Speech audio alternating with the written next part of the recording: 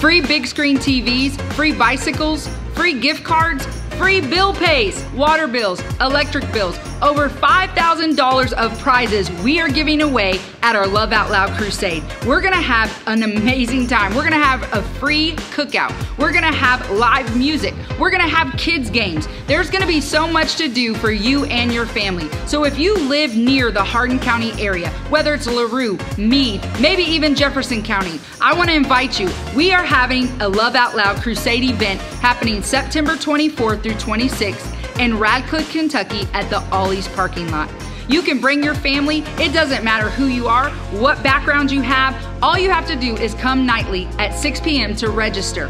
You can win some of these prizes, but everyone gets to walk away having a fun time and even a hot meal. Remember, registration every night, 6 p.m. at the Ollie's parking lot in Radcliff, Kentucky. I hope to see you there.